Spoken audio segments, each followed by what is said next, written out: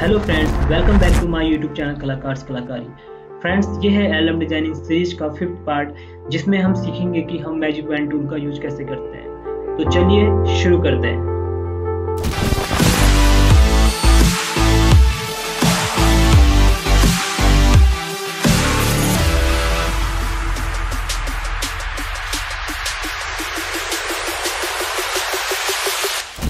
Friend बढ़ते हैं Photoshop की ओर।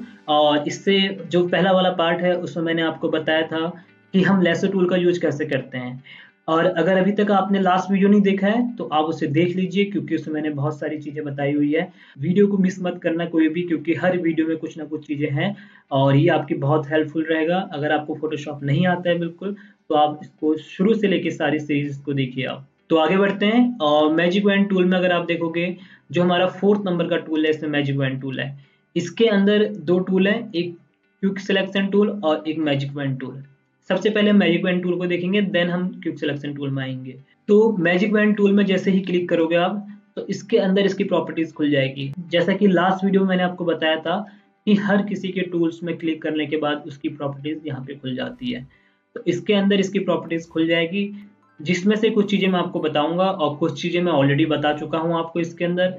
जैसे अगर हम देखेंगे कि इस चीज़ों को मैं बता चुका हूँ आपको ऑलरेडी लास्ट वीडियो अगर आपने देखा नहीं है लेसो टूल वाला, आप उसे देख लीजिए।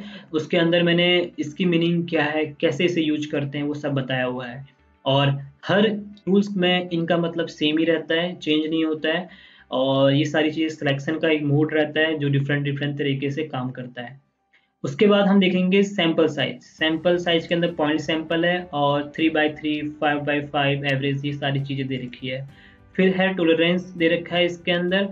इसके अंदर थर्टी टू भी लिखा हुआ है, इसका मतलब भी बताऊँगा मैं आपको और ये सारी चीज़ें भी बताऊँगा। तो सबसे पहले अभी हम इसमें फ़ोटो ड्रैग कर लेते हैं कोई भी। मैं इस फ़ोटो को ड्रैग कर लेता हूँ। और इस फ़ोटो के अंदर आप देखोगे, ये मैंने लास्ट वीडियो में फ़ोटो यूज़ किया हुआ था। तो इसे अभी हमें सेलेक्ट करना है। तो मैजिक वैन टूल क्या करता है? स्पेशली जो एक सेम बैकग्राउंड रहता है या फिर थोड़ा बहुत ग्रेडियंट ज़्यादा हैवी बैकग्राउंड नहीं सेम कलर मोस्टली प्रेफर करता है। तो सेम कलर्स को क्या करता है? सेलेक्ट कर लेता है। लाइक like, अगर मैं इसमें क्लिक करूँगा इसके बैकग्राउंड पे तो ये एरिया को सिलेक्ट कर लेगा। जैसे इसने ये एरिया सिलेक्ट कर लिया। यहाँ पे सिलेक्शन क्यों करा है इसने? क्योंकि ये कहीं ना कहीं इस कलर से इसको मैच कलर दिख रहा था ये तो इसने सेलेक्ट कर लिया। वैसे ही अभी ये डार्क एरिया स्टार्ट हो गया तो इसने ये एरिया सेलेक्ट नहीं करा। बाकी अभी हम इसमें से क्लिक करोगे तो इस एरिया को सिलेक्ट कर लेगा। फिर उसने ये एरिया भी सिलेक्ट कर लिया क्योंकि ये डार्क के अंदर का एरिया है। तो अभी आप देखोगे मैं सिलेक्ट कर रहा हूँ तो जैसे इस एरिया को सिलेक्ट कर रहा हूँ तो ये वाला एरिया सिलेक्ट हो रहा है। फिर इस पर क्लिक कर रहा हूँ तो वाला हट जा रहा है। बिकॉज़ ये इसलिए हो रहा है क्योंकि जो हमारा जो सिलेक्शन जो मोड है, वो सिंगल सिलेक्शन मोड है। इसे आपको इसमें करना पड़ेगा ऐड टू सिलेक्शन में। इसमें क्लिक करेंगे हम। फिर देन अगर आप क्लिक करोगे तो ये फिर इसके साथ ऐड होते रहेगा। तो इस तरीके से सिलेक्ट कर रहा है बट अभी अगर आप देखोगे कि इसने ये चीज़ें भी अंदर की सिलेक्ट कर ली है। तो इसे सिलेक्ट करने के लिए हमें इन चीज़ों का बहुत ध्यान रखना होता है। जैसे कि अगर टोलरेंस की बात करें तो अगर थर्टी टू दे रखा है, इसको अगर मैं कम कर दूँगा लाइक मैं इसको अगर फिफ्टीन कर दूँगा तो इसका जो सिलेक्शन एरिया होगा वो कम हो जाएगा। इसने भी देखोगे आप सिलेक्ट नहीं किया हुआ है। यहाँ भी इसने सेलेक्ट नहीं किया, फिर मैं इसमें क्लिक करूँगा, इसने सेलेक्ट नहीं किया हुआ। तो इस तरीके से ये टोलरेंस मोड काम करता है और बेसिकली हमको इसी का यूज़ होता है मोस्टली क्योंकि हमें अगर सिलेक्शन करना होता है तो हमें ज़्यादा सिलेक्ट एरिया ना ले ले वो, या फिर बहुत ज़्यादा एरिया को सिलेक्ट ना कर, करे, या फिर हमें ज़्यादा एरिया सिलेक्ट करना है तो ज़्यादा एरिया सिलेक्ट करे तो इसी को आप कम ज़्यादा कर सकते हो। अगर मैं इसको, अगर मैं 90 कर देता हूँ तो आप देखना अभी कि ये सारी चीज़ें सिलेक्ट कर लेगा बहुत हद तक। इसने ये बीच के पार्ट भी जो इसने हाउस वगैरह इसने ये भी सिलेक्ट कर लिया है। तो इससे हमें ध्यान रखना है। इसका मतलब वही है कि कितना एरिया आपको बढ़ाना है। लाइक अगर मैं इसको टेन करता हूँ तो टेन एरिया से इसको ये सिलेक्ट करेगा। उसके बाद हम आते हैं सैंपल साइज़ में। इसके अंदर अगर आप देखोगे कि काफ़ी सारे इसने सैंपल साइज़ दे रखे हैं, जैसे three by three five by five तो ये भी सिलेक्शन मोड का ही एक तरीका है जैसे अगर आप इसको कम करोगे थ्री बाई थ्री में करोगे तो ये अभी देखोगे आप सिलेक्शन इसका कुछ इस तरीके से है। अगर इसे आप बढ़ाओगे, मान लिया मैं इसको करता हूँ fifty one by fifty one तो ये सिलेक्शन का एरिया इसका डिफरेंट हो गया है। इसने पूरा एरिया सेलेक्ट कर लिया। मैं अगर इसको और बढ़ा देता हूँ तो ये और सिलेक्शन को ले लेगा। तो इस तरीके से ये काम करता है, और ये भी सेम इसी तरीके से वर्क करता है, अगर जैसे कि अभी ज़ीरो रखा हुआ है मैंने। और मैं इसको अगर पॉइंट सैंपल में कर लेता हूँ तो देखना इसका सिलेक्शन एरिया कम हो जाएगा। मतलब सिलेक्शन एरिया तो होगा बट ये काफ़ी चीज़ें इसमें देखोगे आप तो ये सिलेक्शन ढंग से नहीं कर रखा है। तो हम यहाँ से भी इसको यूज़ कर सकते हैं और यहाँ से भी यूज़ कर सकते हैं। तो इन दोनों को मोस्टली मतलब मिक्स करके भी आप कर सकते हो, जैसे कि थ्री बाई थ्री फिर इसको मैंने बढ़ा दिया, यहाँ से थोड़ा सा ट्वेंटी कर देता हूँ। तो अगर आप देखोगे सिलेक्शन इसका ही कुछ इस तरीके से हो रहा है।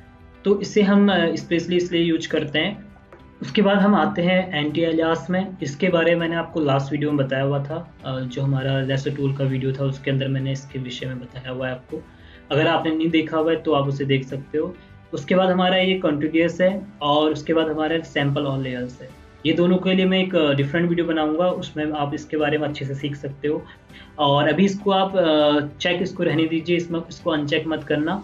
और क्योंकि हमारा इतना यूजफुल नहीं रहता है इसके अंदर बट फिर भी इसको अगर आपको जानना है तो मैं इसके लिए वीडियो में आपको बना दूँगा।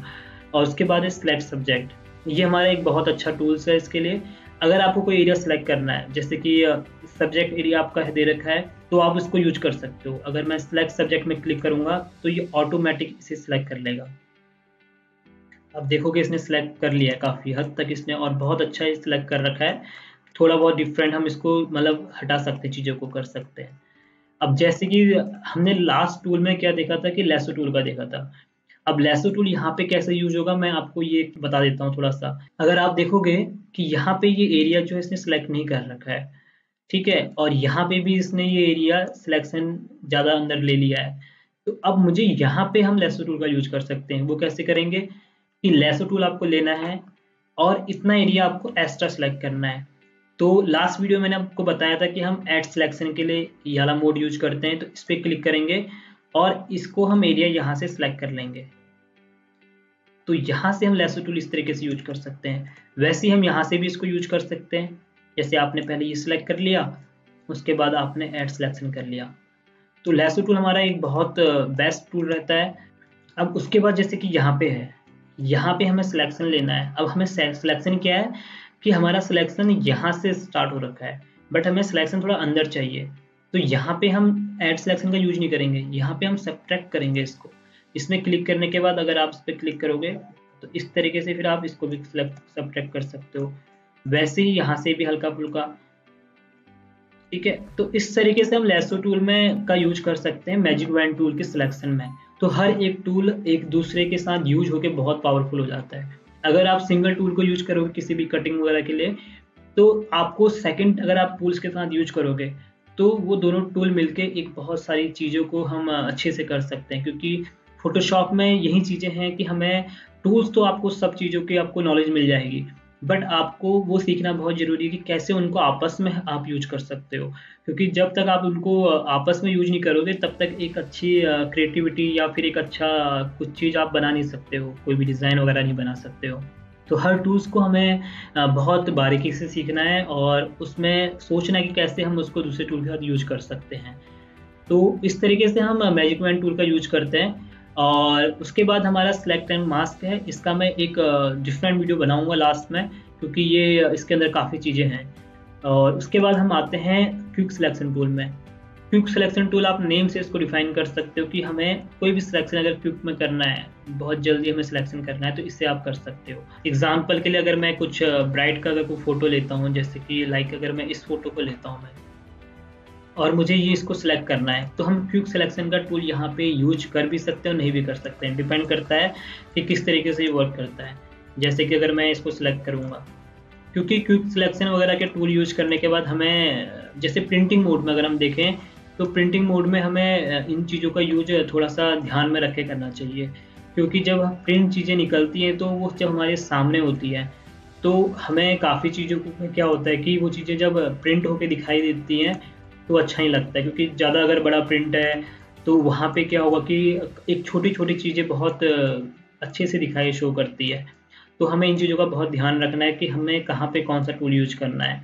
तो जैसे अगर आपने सिलेक्शन ले लिया इसके बाद तो मैं इसको जैसे बढ़ाता हूँ। बड़ा छोटा करने के लिए आप क्या कर सकते हो इसको? जो हमारा बिग ब्रैकेट होता है, उससे आप बिग ब्रैकेट से आप इसको बड़ा कर सकते हो और छोटे ब्रैकेट से आपको छोटा कर सकते हो। तो जितना बड़ा करोगे आप, इसका सिलेक्शन आपका उतना बढ़ेगा, जैसे मैं यहाँ पे कर रहा हूँ। तो इसमें देखोगे आपकी इसने सिलेक्शन ही ले रखा है। और इसने अच्छा सिलेक्शन इसमें काफ़ी कर दिया है, क्योंकि जो हमारा इमेज है, ये मेन इमेज है मेन इमेज के जो हमारे कलर्स हैं बिल्कुल बैकग्राउंड से डिफरेंट है। तो इसने इसको सिलेक्शन बहुत अच्छे से कर लिया है। अगर हमारा बैकग्राउंड और सिलेक्शन का जो हमारा ऑब्जेक्ट है, अगर वो सेम सेम कलर होते तो इसको प्रॉब्लम आती सिलेक्ट एरिया करने में। तो हम इस तरीके से सिलेक्ट कर सकते हैं। और अगर आप देखोगे कि यहाँ पे ये भी सिलेक्शन छूट गया है तो आप चाहो तो इसको इससे भी कर सकते हो। दूसरा ऑप्शन आपके पास ये है कि आप लेसो टूल यूज़ करके आप ऐड टू सिलेक्शन में इसको ऐड कर सकते हो। इस तरीके से हम क्विक सिलेक्शन टूल का यूज़ कर सकते हैं और क्विक सिलेक्शन के अंदर भी काफ़ी प्रॉपर्टीज़ है, जिसमें कुछ चीज़ें मैं आपको बताऊँगा। जैसे कि ये तीन चीज़ें आप समझ सकते हैं अब, क्योंकि ये सेम है। जैसे कि ऐड सिलेक्शन के लिए ये हो गया सब करने के लिए ये हो गया सिंगल सिलेक्शन के लिए ये हो गया। उसके बाद इसके अंदर ब्रश साइज़ का है। साइज़ आप यहाँ से छोटा बड़ा कर सकते हो ब्रश का। छोटा बड़ा ये हो रहा है। इसकी हार्डनेस वगैरह बढ़ा सकते हो आप यहाँ से। इसका साइज़ छोटा कर लेता हूँ। हार्डनेस बढ़ा सकते हो। स्पेसिंग वगैरह आप बढ़ा सकते हो इसकी।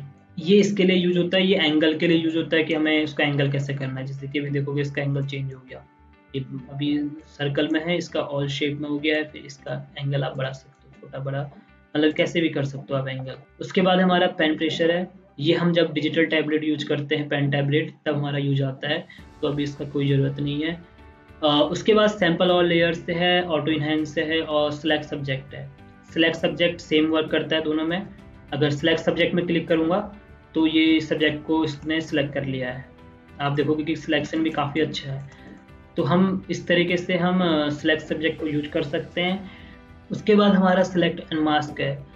ये बहुत यूजफुल है तो मैं इसका भी वीडियो में आपको एक साथ बताऊँगा, क्योंकि ये हमारे सब के अंदर आपको लगभग लगभग मिल जाएगा। जैसे सिलेक्ट एंड मास्क इसके अंदर भी है क्विक सिलेक्शन के अंदर भी है लेसो टूल के अंदर भी है।